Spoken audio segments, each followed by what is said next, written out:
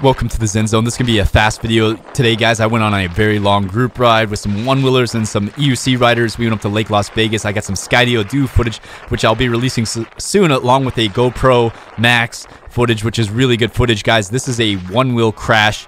He was going 26.4 miles an hour, and he slides it out here. He's a veteran rider, and he knows how to crash. Thank goodness, because it could have been a lot worse than it is, but he caught himself, and he slid it out.